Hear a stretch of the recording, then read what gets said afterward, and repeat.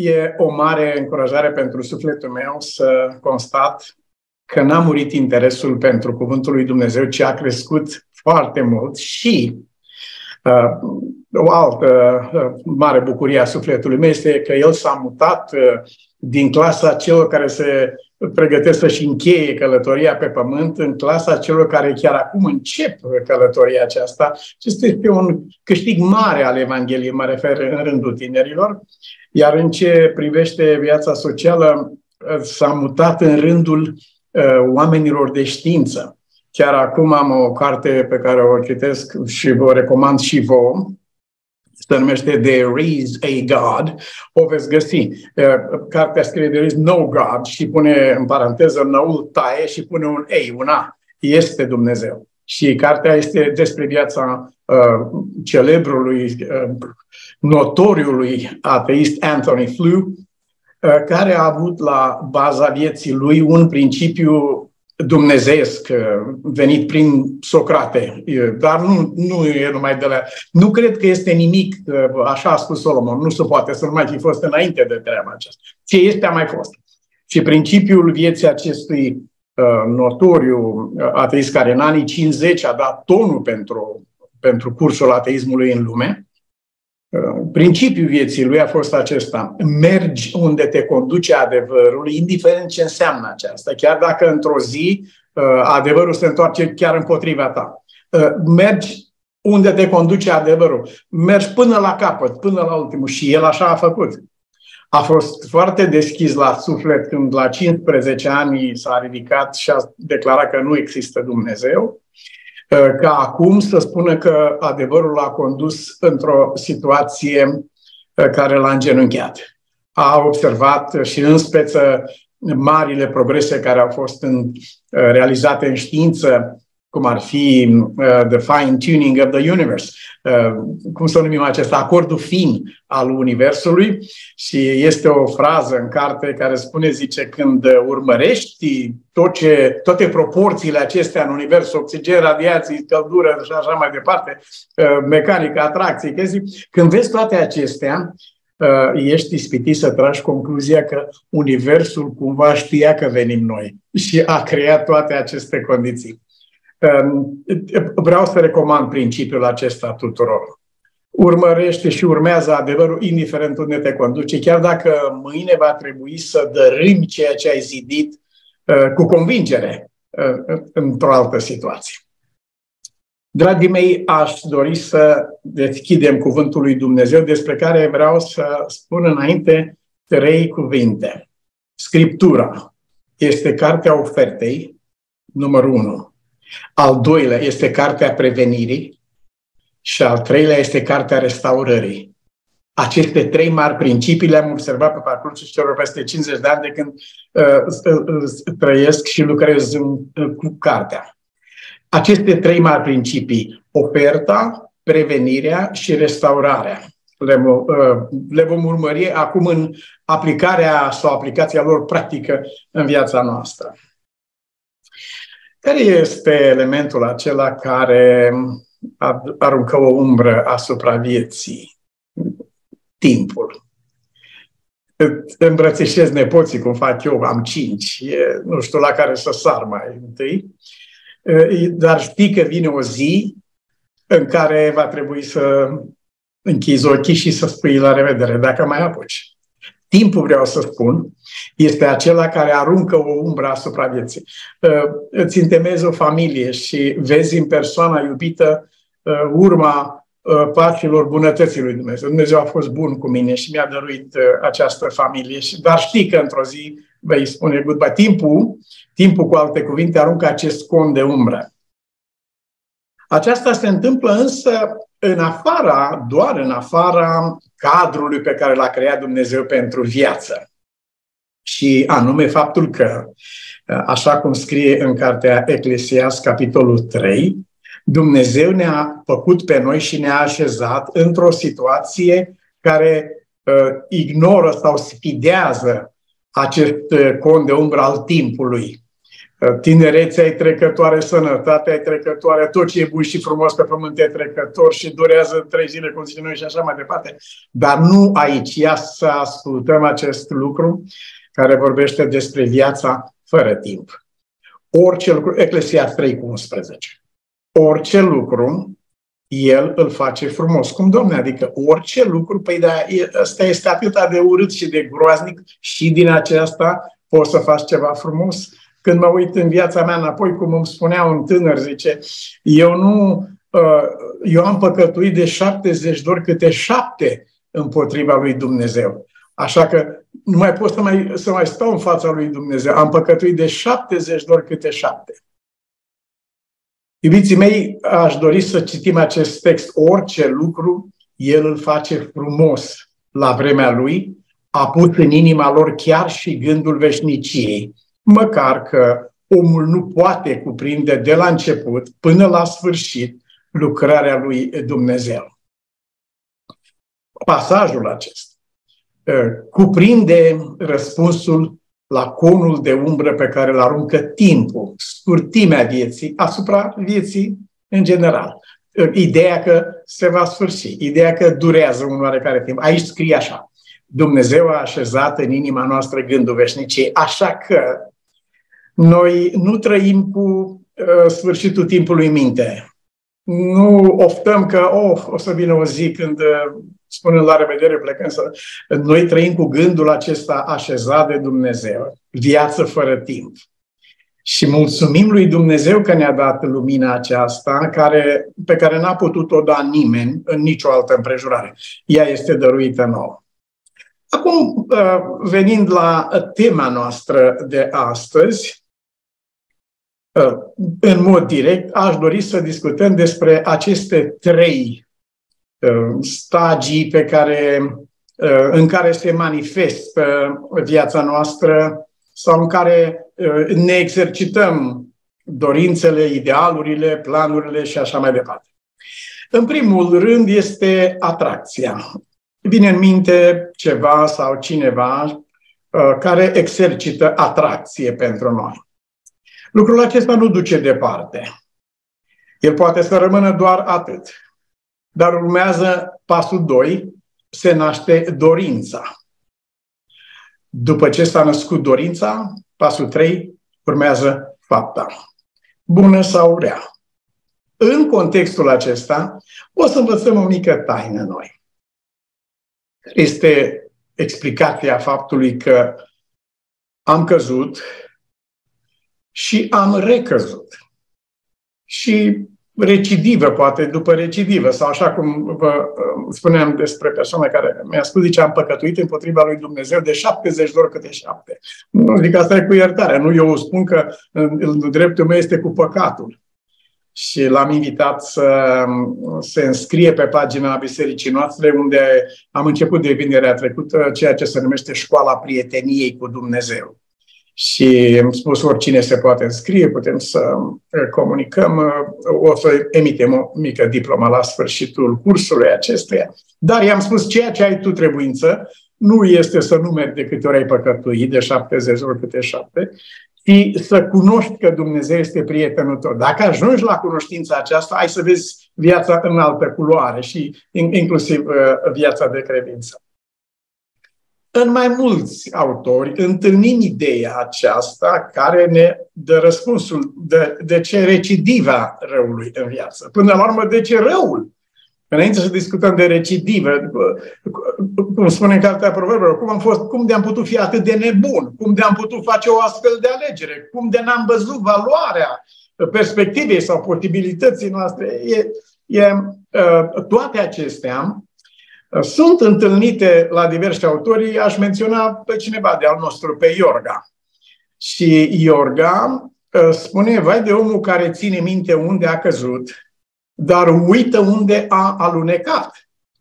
El se va păzi din nou să nu cadă, dar va aluneca din nou, pentru că el nu acordă atenție de adevăratei surse a căderii lui, adevăratului motiv al căderii. Motivul căderii este alunecarea sau împiedicarea. El nu ține seama de aceasta, ci de, de ultima etapă. Uh, noi plătim un preț de obicei pentru ceea ce am făcut. Dar nu ne dăm seama că, de fapt, ă, prețul acesta putea fi prevenit dacă am fi luat seama și am fi înțeles că dorința noastră costă. Și prețul acesta ar fi putut fi prețuit dacă ne-am fi dat seama că dorința noastră are valoare, când mă refer la dorința cea bună. Pentru că dorința negativă sau cea rea costă, cere o valoare de la tine, e un preț de plătit, iar dorința cea bună are o valoare, este o valoare în sine, oferă valoare sufletului nostru. Păcatul așa cum este al familiei umane, începutul păcatului familiei umane, este legat tocmai de punctul acesta în Genesa 3 cu 6. Um, sunt acești trei pași menționați. Unu, a văzut că pomul era bun de mâncat și plăcut de privit, atracția. Doi, a văzut că pomul era de dorit, a apărut dorința. Trei, a urmat acțiunea. Acești trei pași îi întâlnim peste tot. Ei au aceeași manifestare. Iacov, apostolul, marchează bine acești trei pași. Fiecare este ispitit când, numărul unu, este atras de pofta lui însuși. Asta e primul pas. Atras. Doi, este momit, momeală, um, dorința. Trei, nașterea răului care aduce cu sine moartea. Acești trei pași sunt peste tot menționați. Psalmul 1 uh, și primul verset din psalm, imaginați-vă că nu întâmplător acest lucru este pus ca fiind de cea mai mare însemnătate de către David. Psalmul 1, începând de la versetul 1, acești trei pași. Ferice de omul care nu se duce, este pasul 1, nu se lasă atras. Doi, nu se oprește, nu se naște dorința în el. Trei, nu se așează, adică nu trece la acțiune. Aceleași trei lucruri au fost puse de la început, de la origine, aceiași trei pași. Au fost puși de la origine de însuși Dumnezeu. Și recomand tuturor, în căutarea unui răspuns, să începem și să sfârșim cu răspunsul pe care l-a dat Dumnezeu acestei probleme, fără să ignorăm cultura, istorie, experiența de viață, natura și așa mai departe, filozofia și înțelegerea lucrurilor. Nu le ignorăm acestea, dar unitatea de măsură este ce a spus Dumnezeu despre acest lucru. Cu aceasta măsurăm pe celelalte care vor fi mai apropiate sau mai depărtate de adevăr. Acesta e răspunsul lui Dumnezeu cu privire la acești trei pași. El vorbește cu Cain și îi spune așa. Fii atent, pasul 1 păcatul pândește la ușă. Genesa 4 cu 7. Pasul 1. Păcatul pândește la ușă. Atrage, încearcă să intre. 2. Dorința lui se ține după tine. El, el nu dorește doar să pândească la ușă și să doarmă acolo cum doarme un cățel. El dorește din toată inima să creeze în tine dorință, fiindcă știe că după această dorință urmează acțiunea.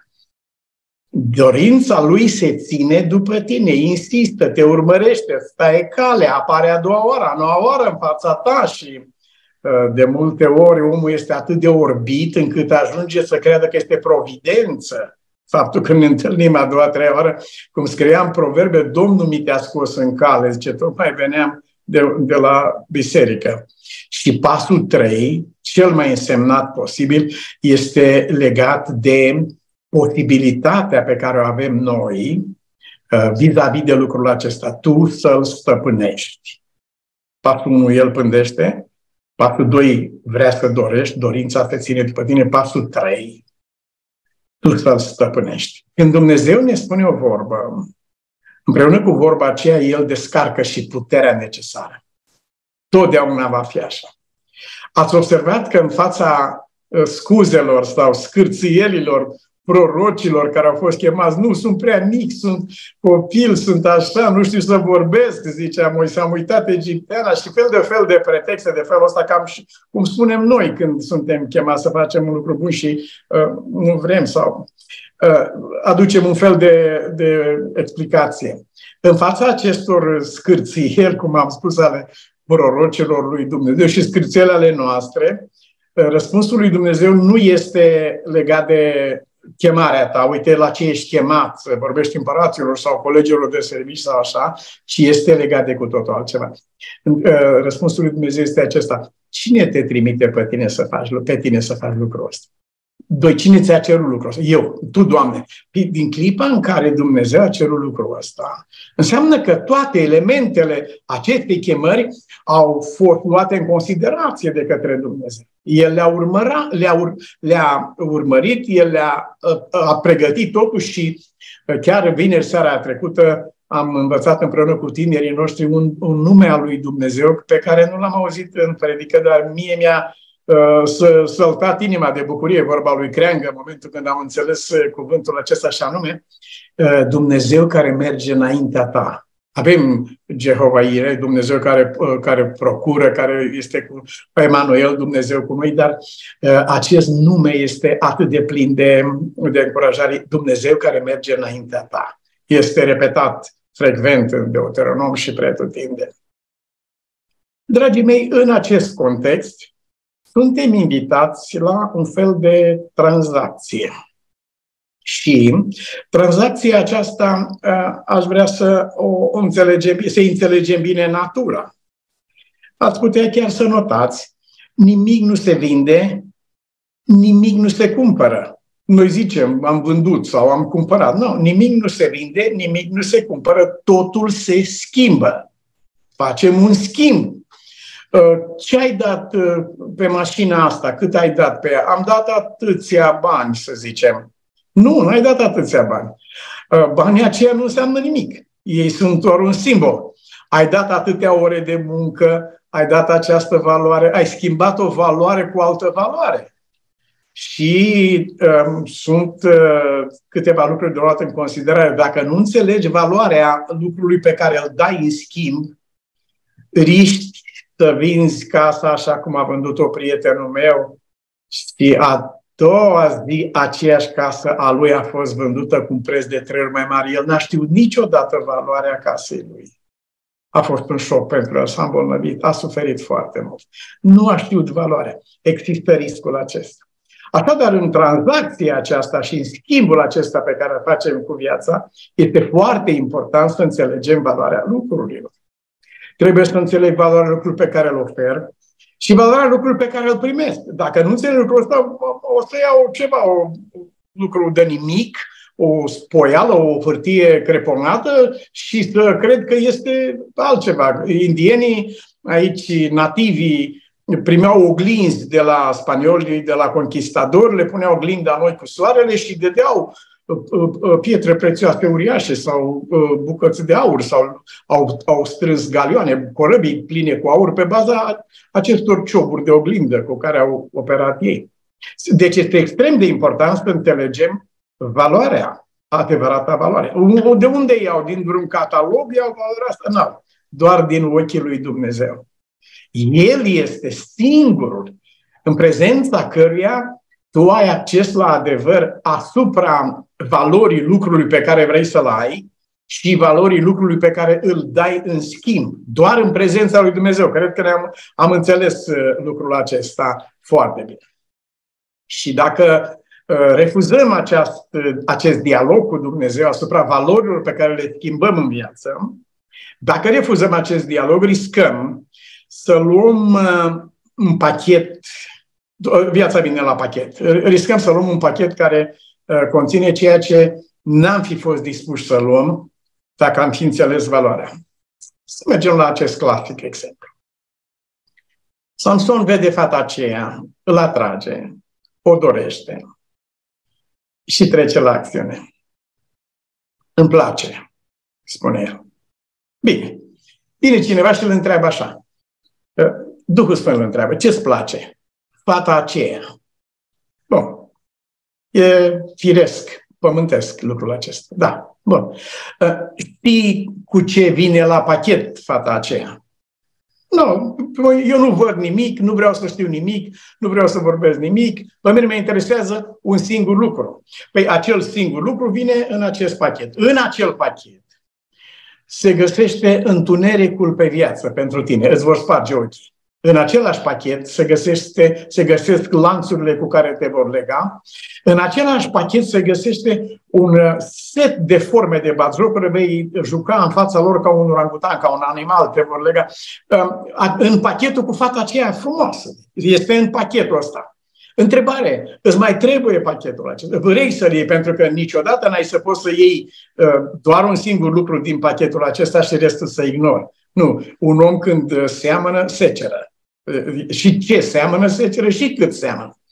De aceea uh, are extremă importanță acest timp în prezența lui Dumnezeu. Doamne, ajută-mă să văd nu ce apare a fi un anume lucru, ci ce este. Și nu ce este în ochii mei sau ai culturii mele sau ai societății, ai vremii mele, ci ce este în ochii tăi. Ajută-mă să văd și să înțeleg lucrul acesta, ce valorează el în ochii tăi. De ce am menționat gândul veșniciei?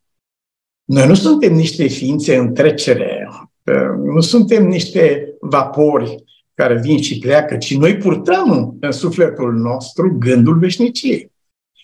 Când așezăm pe masă în tranzacția aceasta, valoarea pe care suntem dispuși sau ni se cere, pe, ni se cere prețul acesta să-l plătim, trebuie să avem în vedere acest lucru. Fiindcă s-ar putea cineva să ceară, să ofere până la urmă tot pământul, de toate, cum i-a oferit Domnul Isus Hristos. A lăsat să treacă prin fața ochilor lui uh, împărățiile lumii cu strălucirea dumnealor, restul le ascuns care erau din pachet, dar a lăsat strălucirea să se vadă. Și întreabă Domnul nostru Isus Hristos, ceea ce a aplicat în la viața lui. Întreabă așa. Să presupunem că ai cumpărat pământul cu tot ce este pe el. Cu ce preț? Să zicem, ă, cu prețul sufletului. Bun. Ă, întrebarea Domnului Isus Hristos. Ce ar folosi unui om să câștige tot pământul dacă a plătit prețul ăsta? Adică prețul sufletului lui. Cine se va bucura de așa ceva? Cine, cui, mă, cui va folosi faptul că ai câștigat pământul? Sper că înțelegem ideea aceasta a, a tranzacției vieții, care nu este a cumpăra sau a vinde, ci este a schimba. A, probabil că va fi un pic surprinzător ce am de gând să spun, dar e o surpriză plăcută. Nu știu câți dintre noi ați știut. Uh, eu am aflat dintr-o carte a lui Jonathan Kahn, am, am terminat-o zilele trecute, o carte mare se numește The Book of Mysteries, Cartea Tainelor. El este evreu, evreu pur, devenit creștin și cu, cu înțelegerea lui evrească, deci rămân uluit ce sensuri ale cuvintelor și da, ale scripturilor uh, pot fi primite prin înțelepciunea și credincioșia unui, unui om ca el. Și el spune Știați că nu există verbul a avea? În ebraică nu există verbul a avea. Cum te știut treaba asta? N-ai știut. Că nu există verbul a avea. Nu. Uh, bine, dar Biblia e plină cu avem, are, are. Nu, acestea sunt traduceri. Verbul a avea, în limba originală în care a fost scrisă Biblia, nu există ca atare. Există verbul a încredința, adică ți încredințează ceva, a-ți împrumuta, a-ți da ceva pentru o vreme, dar nu există verbul a poseda sau a avea ceva. Acest verb nu există. Tot ce vedem noi în Biblie, și este largă paleta, sunt traduceri. De aceea, e momentul să ne întrebăm ce valoare trebuie dată unui lucru care se găsește, de fapt, în trecere. Demonstrația clară a faptului că nu avem nimic este faptul că nu luăm nimic în momentul în care plecăm. Noi nu putem să luăm decât ce avem și ce avem este nimic. Deci noi nu luăm absolut nimic cu noi. Există un singur, absolut un singur lucru care, despre care se poate spune pe baza de asemenea a răspunsului pe care îl dă Dumnezeu. Există un singur lucru sub cerul care poate fi pus sub acest verb a avea. Și anume este lucrul acela despre care a vorbit Mântuitorul în dreptul Mariei în dialogul lui cu Marta. Și el a spus Martei așa, uite, Maria și-a ales acea parte care nu îi se poate lua, nu îi se va lua.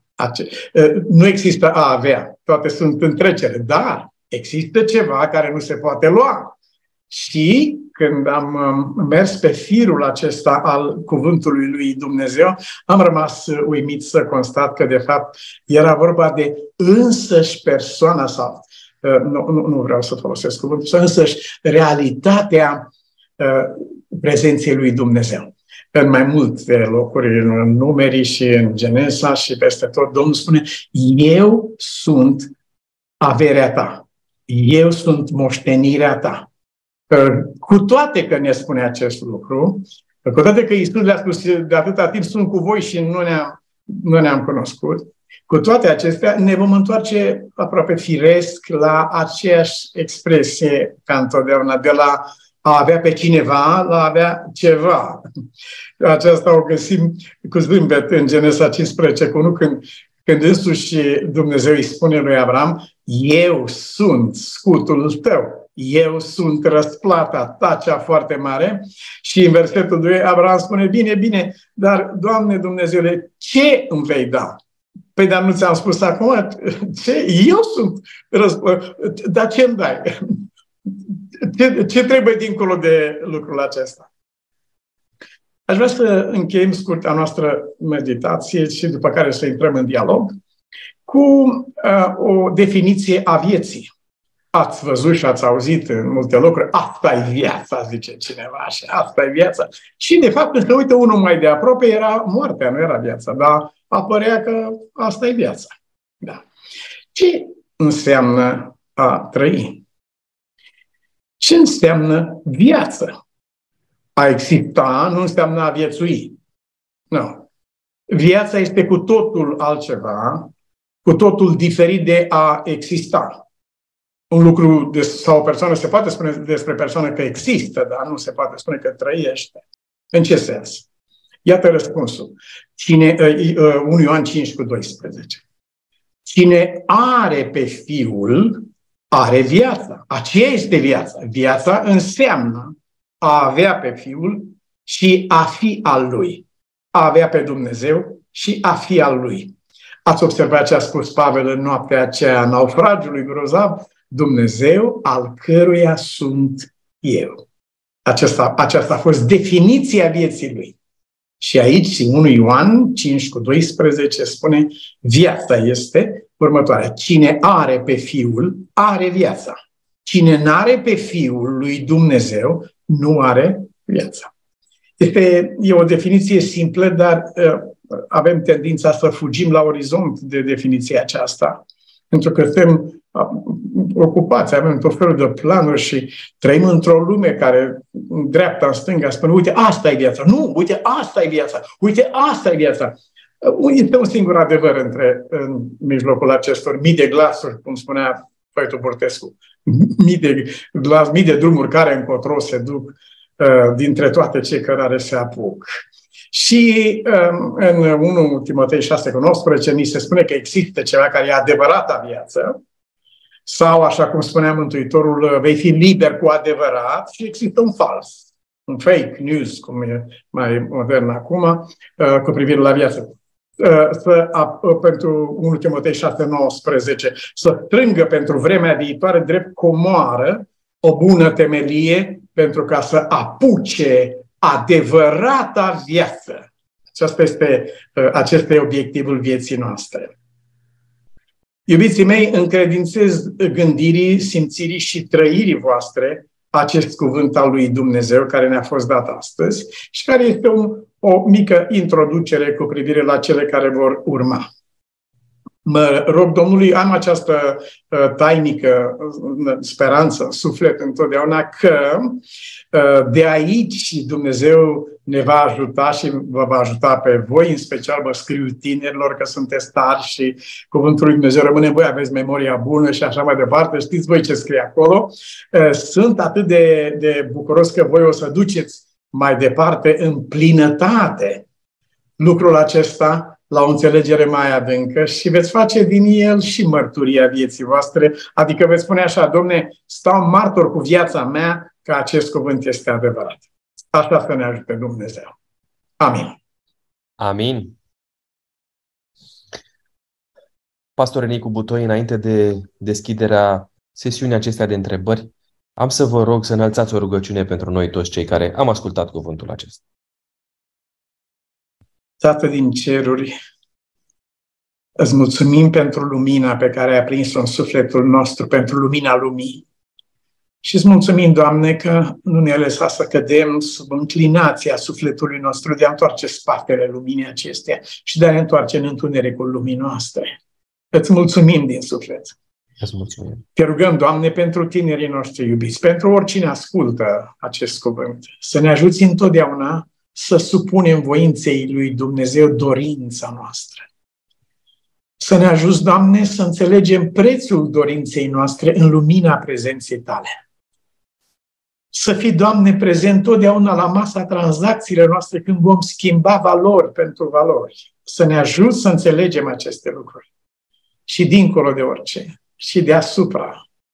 Și mai important, și pentru totdeauna însemnat, să ne ajuți, Doamne, să ținem seama de cuvântul Tău, Amin. care ne spune prin făgăduință, urechile tale vor auzi după tine glasul care va spune, iată drumul, mergi pe el.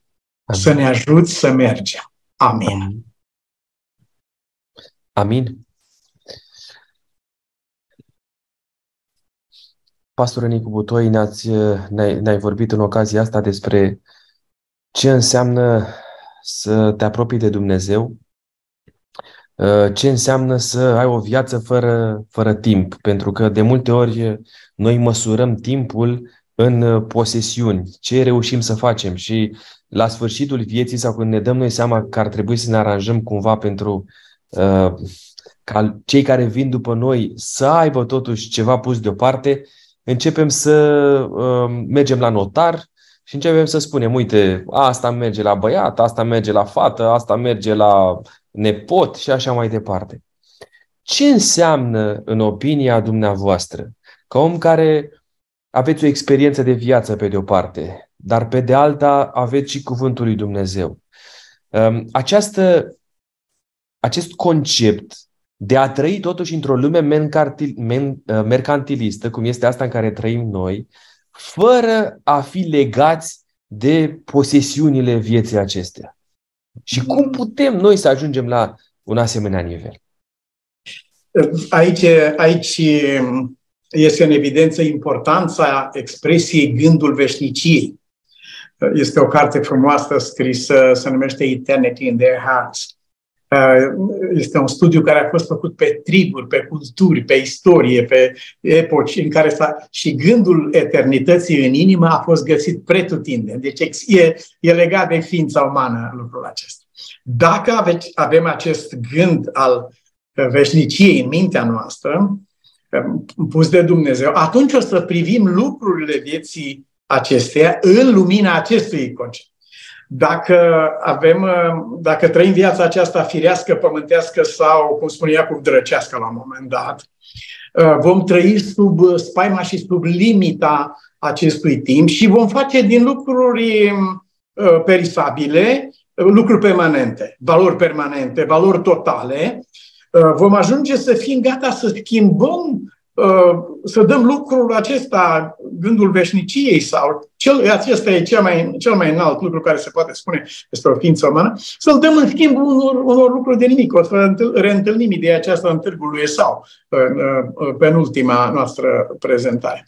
Deci, dragii mei, este de o importanță totală. Să știți, nu este o școală ușoară aceasta ca să porți gândul veșniciei cu tine oriunde te duci. Să știi că vorba pe care o spui, te, noi vorbim acum, dar nu este la colțul străzii până vine tramvaiul. Ne dăm seama că lucrul acesta impactează ființa, sufletul nostru. Am un prieten la Londra, pe Licuță Picioran, și el mereu îmi spune, băi, Niculiță, fii atent ce cuvinte spui, bă, că lumea schimbă viața, bă, după cuvintele astea. Fii atent ce vorbești acolo. Și în momentul în care umblăm în lumina acestui, acestui cuvânt al lui Dumnezeu, cuvânt de onoare al lui Dumnezeu, a pus gândul veșniciei în sufletul nostru, atunci vom munci, vom lucra, vom produce uh, mult, frumos, bine, cât, cât va îngădui ființa noastră după, după darul și puterea fiecăruia dintre noi, fără a face din acestea valori veșnice, ci având conștiința tranzitoriului. Totul este, eu sunt în trecere și lucrurile acestea trec pe la mine. Nu le am, ci mi-au fost încredințate pentru o vreme. Trebuie să am uh, acest lucru în minte. Mulțumesc frumos pentru răspuns. Dumnezeu să ne ajute să trăim cu gândul acesta al veșniciei în minte și să fim cu adevărat uh, oameni care să nu ne abatem de la acest gând. Uh, am o întrebare venită din partea lui Doru. Spune așa, în contextul lumii postmoderne, mai este posibilă opoziția fermă în fața păcatului, așa cum au făcut Noe, Enoch sau alți eroi ai credinței pe care îi găsim în Sfânta Scriptură? Da, e foarte frumoasă întrebarea. E, am dialog întâi la noi acasă cu privire la diferite teme și un, în urma unui astfel de dialog, um, cineva din casa noastră, uh, una dintre fiice, îmi spune, zice, nu, ideea asta cu care ai spus-o tu, cu cumpărătorul delicvent, am ținut la Târgu Mureș o serie pe tema aceasta, asta nu, nu poate să stea în picioare. Depinde de cultură, depinde de epocă, depinde de mediu, depinde de circumstanță și așa mai departe. Și atunci am zis, fată dragă, pa, hai să facem un experiment. Hai să luăm un litru de țuică, dar să luăm, luăm din uaș. Să zicem că acolo ăștia o rafinează de două ori horincă sau pălincă, nu știu cum îi zice.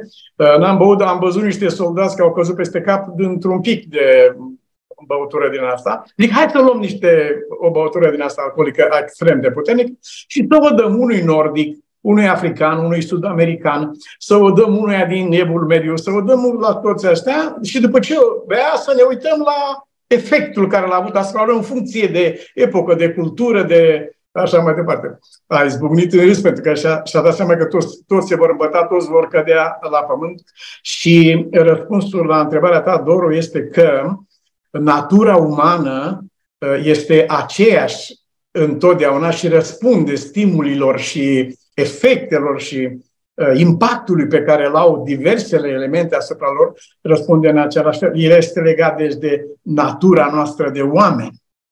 Uh, există variații la nivel de fizic, unul mai rezistent, unul mai puțin rezistent, dar în ce privește efectul asupra sufletului nostru, nu este nicio diferență. Din potrivă, uh, un împărat beat suferă mult mai greu decât un țăran de la plug care s-a îmbătat, pentru că el, era, el s-a îmbătat în fața lumii întregi. Adică are un impact mult mai greu, vreau să spun, și aceasta se aplică uh, nouă celor care suntem numiți o uh, preoție împărătească a lui Dumnezeu. Suntem trimiși pe pământ ca uh, vestitori, ambasadori ai bunătății și frumuseții lui Dumnezeu. Așadar, poate să fie epocă modernă, postmodernă, Uh, impactul binelui, răului, uh, frumosului, adevărului, uh, neadevărului, impactul acesta rămâne constant asupra ființei umane. Mulțumesc frumos. Cam aceeași întrebare o adresa și Gabi. Spunea, valorile pot fi diferite în funcție de cultură și cum poți schimba valorile deja prezente, indiferent de contextul în care te-ai afla. Dacă da, da, da, este o... putea completa. Da, este o mică variantă. Este un, uh, un test pe care l-a prezentat Mântuitorul nostru și anume acela al, um, al efectului sau al roadelor. Și el a spus așa, după roade vei cunoaște. E posibil să fiu într-o, într-o cultură vestică, să mă fi născut așa, sau în India, sau în China, sau... Dar uh, legea aceasta se aplică oriunde având uh, uh, uh, accentul în relația dintre ce fac sau refuz să fac și impactul pe care îl are asupra vieții mele și asupra mediului care mă înconjoară. În funcție de acest impact, calific ceva ca fiind bun sau ca fiind rău, ca fiind o valoare sau o non-valoare. E, este atât de important punctul acesta, îl voi sublinia mai frecvent, asupra valorii și non-valorii, Uh, la care avem acces în prezența lui Dumnezeu. Nu există, de cel ce vine la mine nu-l voi da afară. Nu există cineva care să vină în prezența lui Dumnezeu. Doamne, am de gând să fac o tare, să fac pasul ăsta. Ce mă înveți? Ce îmi spui despre treaba aceasta? Și atunci bunul Dumnezeu ne va lumina mintea și sufletul.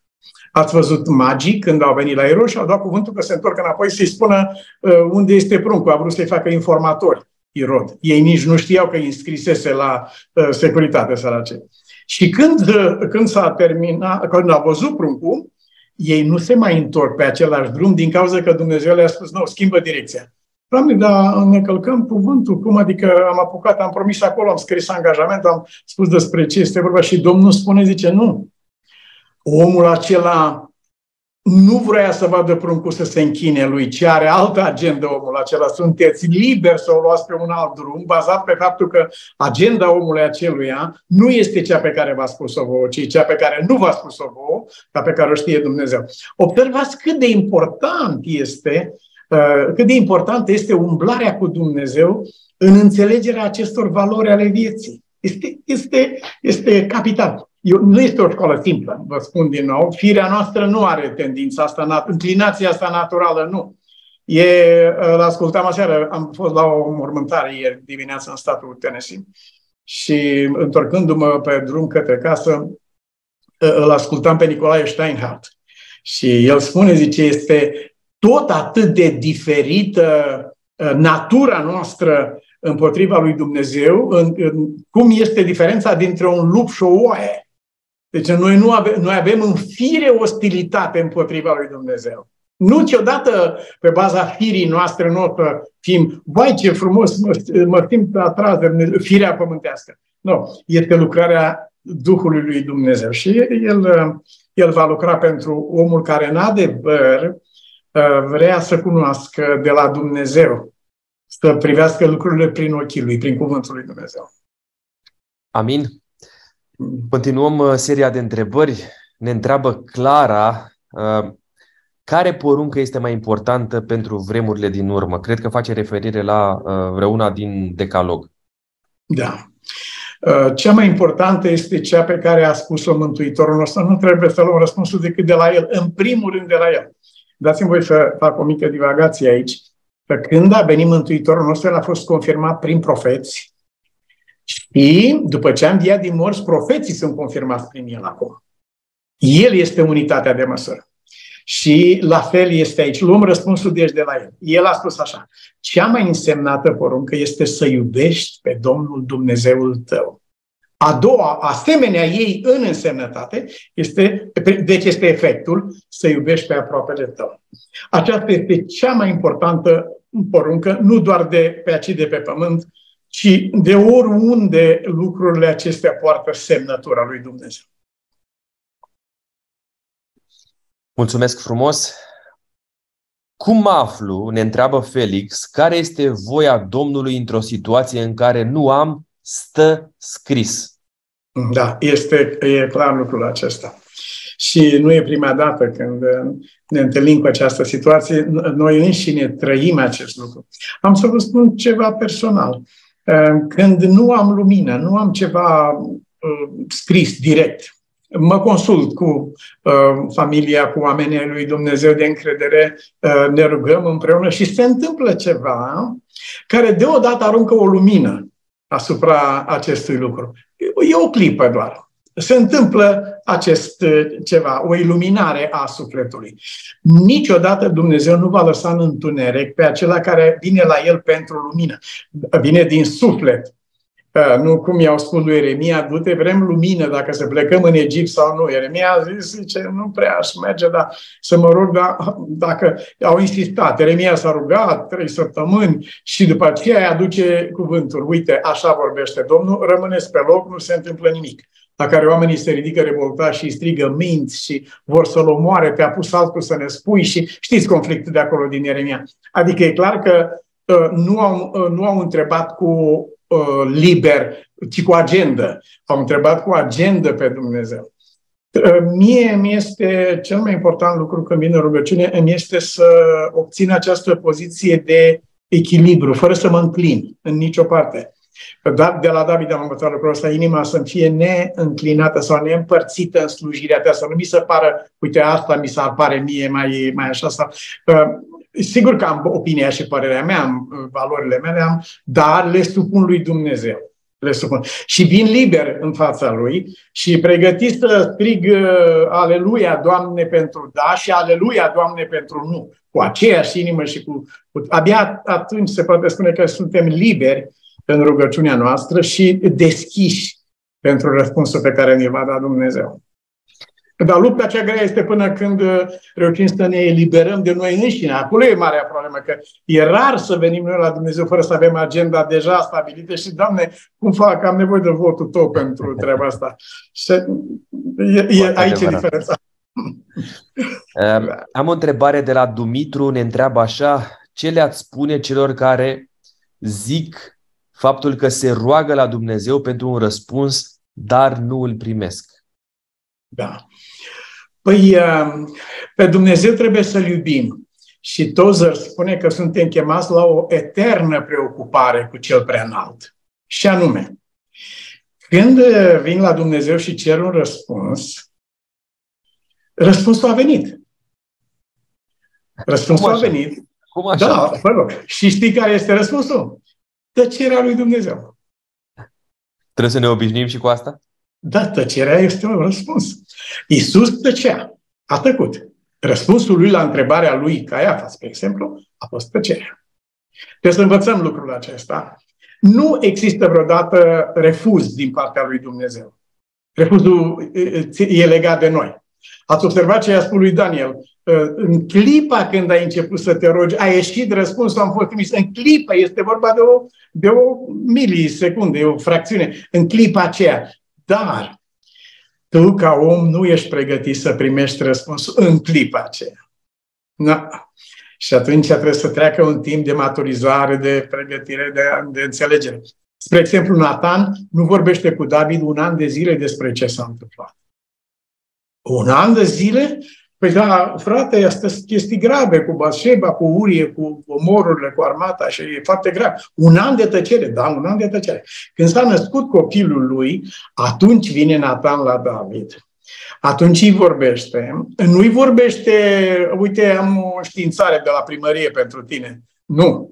Ci aplică acea parabolă foarte înțeleaptă, cu așa.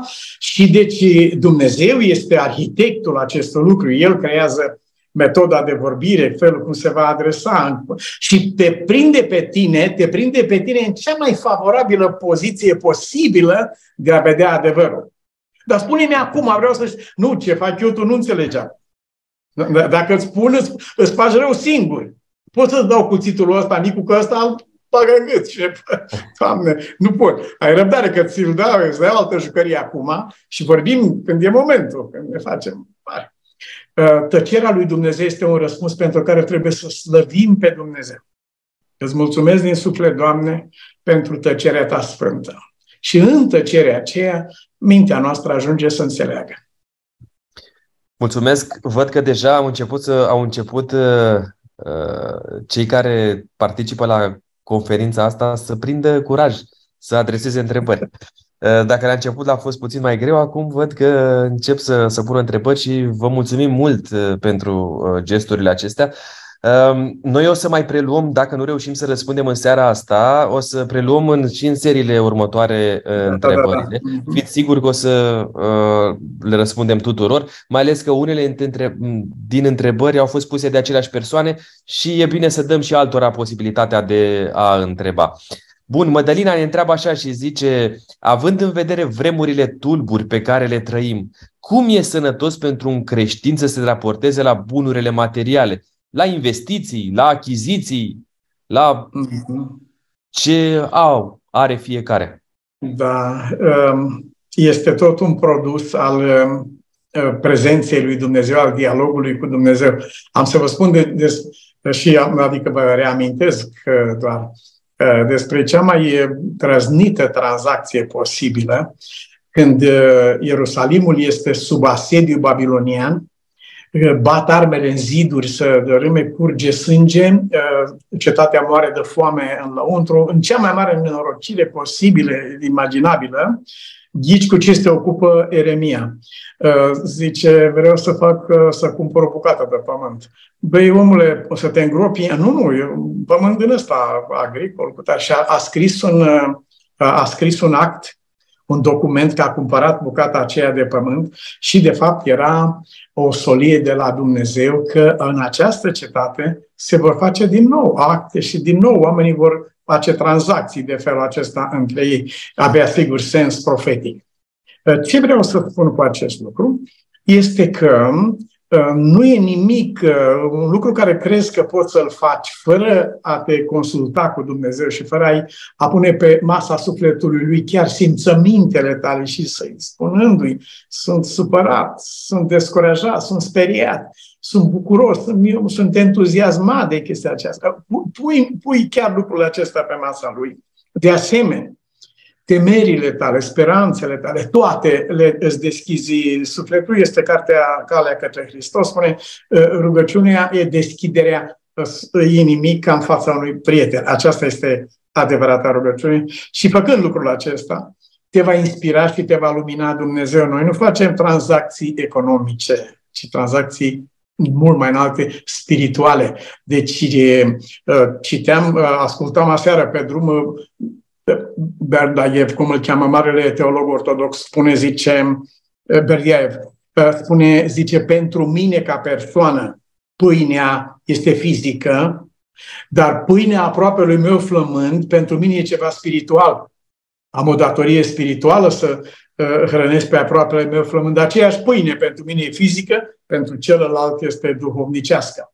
Chiar și pentru propria noastră ființă este duhovnicească, pentru că uh, îngrijim templul Duhului Sfânt așa cum ne-a fost încredințat. Deci, um, indiferent de vreme, de conjunctură, de ținem seamă de toate elementele, nu ajunge o informație întâmplător la urechea ta, uh, nu-ți vine o idee așa out of the blue, cum zic americanii, din, așa, din, răznită din, din aer. Nu se întâmplă lucrul acesta, ci ele vin pentru că Dumnezeu pregătește pentru tine locul. De asemenea, să nu uităm numele lui Dumnezeu, Domnul care merge înaintea ta. Pastore Nicu Butoi, uh, noi ne-am propus ca maximum o oră și jumătate să dureze întâlnirea noastră. Mai avem 20 uh, de minute și mai sunt 5 întrebări pe care uh, le-am primit. Prima dintre ele spune în felul următor, cum putem ști căror dorințe să ne opunem? Mm-hmm. Cum să facem selecția?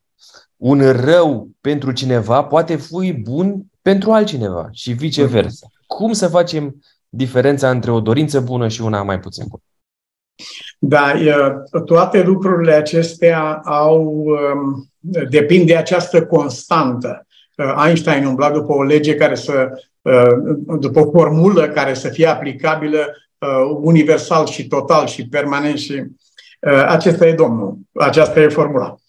Și în cazul acesta, având în vedere, în vedere um, ceața în care ne mișcăm pe pământul acesta, a valorilor, uh, ceva, relativismul în care suntem, uh, dacă ne întâlnim cu unul, spune, nu, asta nu este nimic, este la modă, e ceva, dacă ne întâlnim cu un altul, fugi de diavolul și uh, uh, au, au, au diverse valori, dacă discutăm pe orizontală, dar uh, singurul care știe ce înseamnă cu adevărat pentru viața ta în acest lucru, care poate într-o altă împrejurare s-a dovedit bun pentru aproapele tău, vă recomand uh, broșurica aceasta lui James Allen, din nou am recomandat-o tuturor oameni, As a Man Thinketh.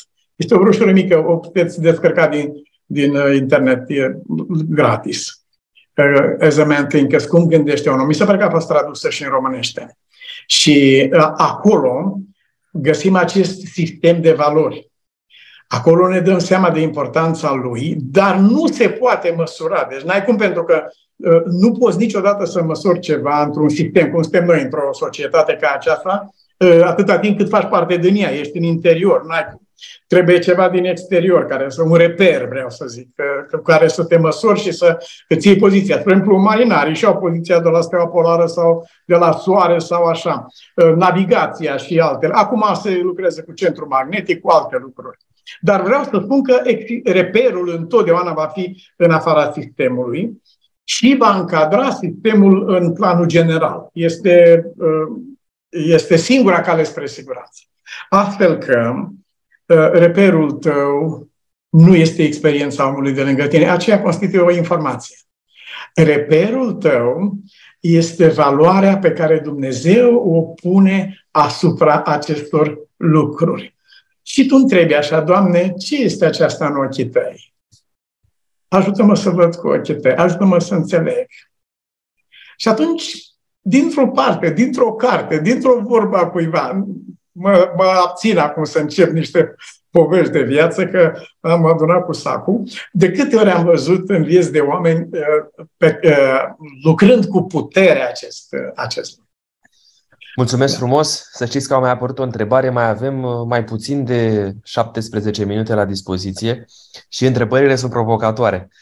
Știu că e nevoie de timp, dar mi-ar plăcea ca um, să ne putem revedea mâine seară la aceeași oră și să avem timp de discuții să nu ne prelungim foarte mult seara asta, ci să te ținem de programul nostru, astfel încât să stârnim curiozitatea pentru fiecare seară, nu? Da. Zice Răzvan așa, în ideea schimbului de valori și timp, și timp târgul cu Dumnezeu, yes, yes. avem tendința uneori să oferim minim, yes. minimul pentru a obține mântuirea. Oferim din banii noștri, și puțin peste. Oferim timp de studiu minim, oferim un bănuț cercetorului și așa mai departe. Zice el, un exemplu fantastic de sacrificiu este celebrul Oscar Schindler, care a oferit nu minimum, ci până la ultimii bani și a riscat viața pentru a salva viața evreilor pe care nu i-a cunoscut niciodată. Nu aceasta, întreabă el, ar trebui să fie atitudinea creștinilor din ziua de azi? minimul, și aici continuă, aici întrebarea cheie, minimul ne poate salva? Ne poate wow. Da. În orice caz, tranzacția de tip Schindler și oricare altă asemănătoare este o relație pe orizontală. Nu are legătură cu mântuirea. Acolo o să discutăm imediat că este o relație pe verticală și este one way, este cu sens unic. Uh, dar în cazul lui Schindler, ce m-a impresionat cel mai mult, am văzut filmul de mai multe ori, am plâns ca blegul, până, deși mă hotărâsem să nu plâng, dar iar am plâns. Și asta a fost. Uh, ce m-a impresionat cel mai mult a fost acea scenă finală în care el uh, a descoperit că avea o broșă sau ceva care dacă ar fi vândut-o putea să mai scape one more soul, încă un suflet sau poate altul. Și, și noi trebuie să fim mânați în relațiile noastre cu semenii noștri de același duh. În ce privește mântuirea, nu este chiar nimic de oferit. A întrebat uh, Spurgeon, uh, o doamnă l-a întrebat pe Spurgeon. Domnule Spurgeon, uh, Moody, pardon, domnule Moody, ce să fac ca să fiu mântuită? Și Moody a spus prea târziu, doamnă, totul a fost făcut deja. Nu se mai poate face nimic. Și uh, în lumina acestei expresii, mântuirea vine cu sens unic. Către noi nu este um, un contract între om și Dumnezeu. Legământul nu este contract, este, este promisiunea unilaterală a lui Dumnezeu. Vine pe sens unic către noi și mântuirea nu poate fi decât primită sau respinsă. Nu poate fi câștigată niciodată. Cine va încerca să o câștige, a spus Iisus, o va pierde. M-aș bucura să am de vorbă cu voi o viață și o veșnicie pe seama cuvintelor lui, cât, cât de bogate sunt. Dar în ce privește viața aceasta, ai spus un lucru atât de frumos. Ai luat ilustrația aceasta atât de mișcătoare, m-a emoționat, numai când mă gândesc la omul acesta care a luptat cu prețul vieții împotriva, ca să păzească alte vieți de oameni. Știți că este mormântat la Ierusalim, este așezat între drepți și drepți între popoare și aceasta ca un simbol pentru noi, tot ce putem face să facem pentru aproapele noastre. Haideți să vă spun o mică poveste. Ieri, uh, o săptămână cealaltă, am fost la uh, aeroport aici și um, așa vorbăresc cum sunt, uh, până are doamna asta pe la descu minut să îi zic câteva, câte ceva. Și am intrat în discuție cu dumnea ei și a devenit foarte prietenoasă cu mine. Pe rog, zic, mă aștept acum că o să-mi dai un loc la fereastră cu panoramic, viu în avion, zic, o să am, mă aștept să faci treaba asta pentru mine acum. Și așa a făcut mi-a dat un loc în avion cu două ferestre, deci aveam două ferestre și într-o parte și într-alta și ne-am luat la revedere. Am urcat în avion, m-am așezat pe locul acela nemaipomenit, dar n-a stat decât două secunde pe locul ăla, că a apărut o femeie lângă mine, care avea o mână paralizată și avea un picior pe care îl mișca greu de tot. Și locul ei era la mijloc. În, în dreapta era o persoană care ocupa două locuri, în, în, în stânga era o persoană care ocupa două locuri, în dreapta eram eu. Și dânsa trebuia să stea la mijloc între noi, atât de bolnavă. Și eu o întreb până să se așeze. Ție îți place să stai la fereastră? Oh, Doamne, m-am rugat de ei să-mi dea un loc la fereastră, dar au spus că nu au. Și m-am ridicat și după aia am ajutat-o să se așeze acolo și am zis, Doamne, acum te-am prins, de ce mai pus să intru în dialog cu femeia aceasta și să obțin locul acesta cel mai bun și mai frumos de acolo? Uh, satisfacția de a obține lucruri, de a face bani sau materiale sau asta, uh, are un anume grad de impresie asupra sufletului nostru. Uh, bucuria și satisfacția de a aduce în alt, în viața altcuiva, binele și frumosul și fericire, satisfacția aceasta e e montată de Dumnezeu să ne ducă pe niște înălțimi care nu le-ar încerca niciun om care a câștigat pentru sine ceva. Ia, chiar rămâne un gol în suflet când e vorba de, de tu a sluji euul tău, pe când rămâne, pe când în cealaltă opțiune, când tu ești instrumentul lui Dumnezeu pentru binecuvântare, că va rămâne o satisfacție permanentă, deci este o, o bucurie extraordinară. Mulțumesc frumos pentru răspuns. Mergem mai departe. Florin spune așa. Întreabă, cum vede Domnul starea mea care se schimbă de la o zi la alta? O zi simt cercetarea Domnului, dar am zile în care simt multă oboseală spirituală și răceală la capitolul acesta. Uh, am terminat o altă carte a uh, unei, uneia din familia Kennedy, a fiicei lui Kennedy și e în cartea aceasta, ea admiră credința bunicii ei. Și copilă fiind, vine și întreabă pe bunică, bunică, ce să fac eu pe pământul ăsta ca să am și eu credință cum ai tu? Și bunica am îngoiat-o pe crește și a spus, e foarte ușor și foarte simplu. Cere de la Dumnezeu. Atâta. Nu trebuie altceva.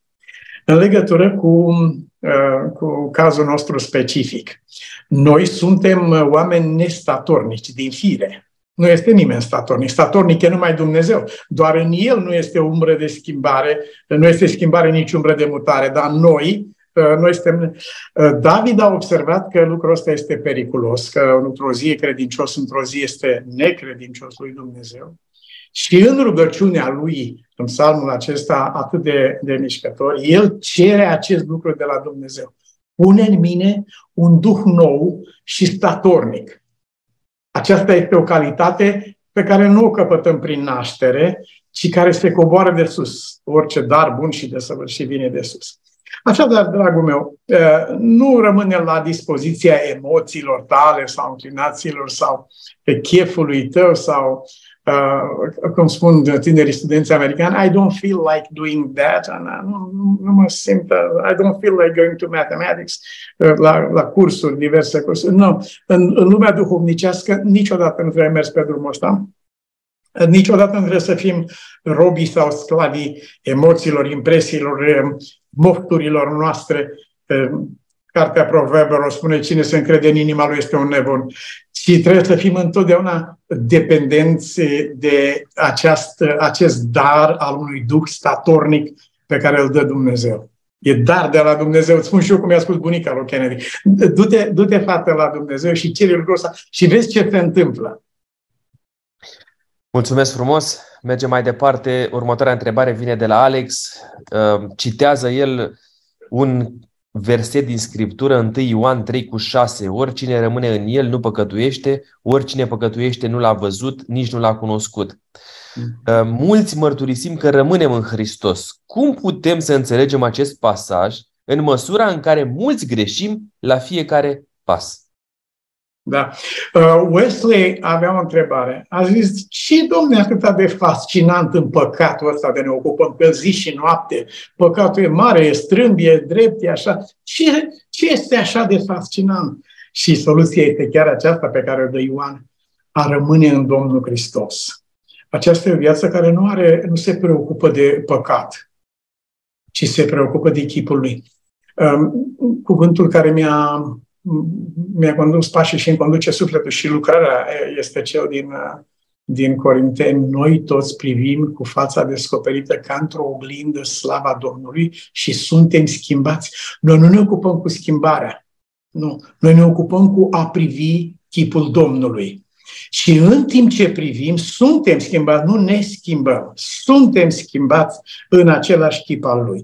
Uh, aceasta, de fapt, spune Ioan prin, prin cuvintele lui, cine rămâne în el nu păcătuiește, iar cine păcătuiește, nimeni nu poate să spună că în timp ce a ales să păcătuiască într-un fel sau altul, a făcut aceasta prin consultare cu Dumnezeu, că Dumnezeu a fost prezent, că l-a văzut de față în clipa aceea și Ehm, sigur că aceasta ar friza într-un fel nebunia spirituală a, a merge chiar împotriva sufletului tău. Dar ehm, medicamentul sau vindecarea sufletului ehm, este această prezență a lui Dumnezeu. Ne mișcăm împreună cu El, comunicăm permanent, supunem gândului lui oriunde mergem pe pământul acesta. Preocuparea cu Dumnezeu, uh, revin la cuvintele lui Tozer, nu este un lucru de ziua șaptea, ci este un lucru de fiecare clipă din cele șapte zile care ne sunt date să le trăim în săptămână. Mulțumesc frumos, mergem mai departe. Mai avem mai puțin de 10 minute. Avem uh, următoarea întrebare venită de la Evelina. Cum putem diferenția glasul Domnului, adică răspunsul lui, față de propria noastră voință? Mai ales când noi considerăm că intențiile pe care le avem sunt unele nobile, bune. Da. da. Uh, sunt uh, cea mai primejdioasă situație este legată de aceste intenții nobile, Evelina. Uh, pentru că uh, de, dat, de îndată ce suntem încredințați că e ceva nobil, uh, mulțumesc, Doamne, ca fata aceea, după ce a trecut uh, din pădure, Doamne, ajută-mă să trec pădurea și când a trecut, Doamne, mulțumesc, acum mă descurc. Uh, see you next time, ne vedem data viitoare. În momentul în care gândești despre ceva că este bine și binecuvântat și corect și bun, uh, tinzi să nu mai depinzi de Dumnezeu Petru e așa de sigur de statul care îl dă lui Isus. El știe că Isus este Fiul Dumnezeului celui viu și că este Mesia. Dar el e așa de sigur că să te ferească că Dumnezeu, Doamne, să faci așa ceva. E așa de sigur că sfatul ăsta este bun și tocmai sfatul ăsta atât de bun era uh, de la diavol. Domnul i-a spus, nici nu știi cine te-a pus să, să întrebi așa ceva sau să faci așa ceva. Nu, nu-l cunoști pe asta care te-a pus să faci lucrul ăsta. Deci, Uh, indiferent dacă un lucru, când, dacă un lucru ne apare negativ, dar simțim tendința de a-l face, trebuie să strigăm pentru putere de la Dumnezeu, că nu este clar în lumina Lui uh, că e un lucru negativ. Dacă un lucru ni se pare că este pozitiv și venim la Dumnezeu, uh, îl vom supune în aceeași libertate, fi pregătită ca Dumnezeu să spună că planul tău cel mai sigur, intențiile tale cele mai bune și toate acestea, de fapt, erau lipsite de un anume element. Este clar, nu mai nevoie să demonstrăm că noi avem noi ceva date despre lucruri, dar de la ce avem noi până la ce are Dumnezeu date cu privire la... e drum foarte lung.